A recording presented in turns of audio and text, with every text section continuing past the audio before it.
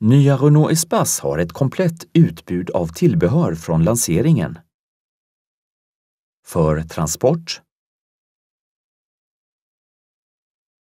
Upplevelsen i bilen Utvändig anpassning Invändig anpassning och yttre skydd. Nya Espace är den första Renault-modellen med dragkrok som går att vika fram. Den döljs under stötfångaren men fälls ut via ett handtag inne i bagageutrymmet.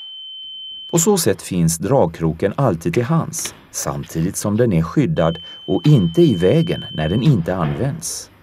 Dragkrokssystemet är kopplat till en speciellt anpassad instegslist för bagageutrymmet.